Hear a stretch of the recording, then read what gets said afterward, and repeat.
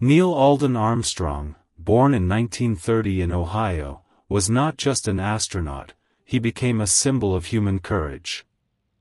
A former naval aviator and test pilot, Neil Armstrong flew faster and higher than most humans ever had before spaceflight.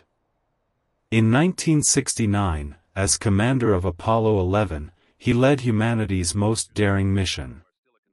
On July 20, Neil Armstrong stepped onto the moon's surface and spoke words heard across Earth, that's one small step for man, one giant leap for mankind.